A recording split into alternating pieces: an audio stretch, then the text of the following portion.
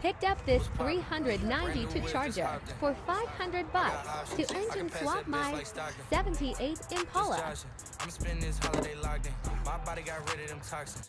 My 78 Impala before the swap. This shit sound like an intro jet. Give me that tempo. Like and follow for updates and more.